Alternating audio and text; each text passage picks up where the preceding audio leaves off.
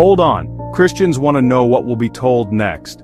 Once I, the new Messiah Zahid, left my body and flew over the desert to Canaan, the promised land. I saw a man shining like crystal, sitting alone on a mountain. It was Jesus. I asked him, why are you sitting here alone? Tears streamed down his face as he replied, This is the road to Canaan, where people were promised to know God and live with him forever. He took my hand and said, Come with me.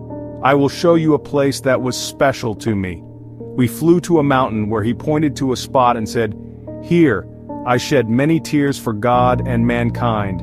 Here I received the mission of the Messiah. But then, overcome with sorrow, he confessed, If my disciples had united with me I would not have ended on the cross. The crucifixion was not God's will, it was my failure to fulfill the mission he gave me. I am guilty before God and the heavens for abandoning my path.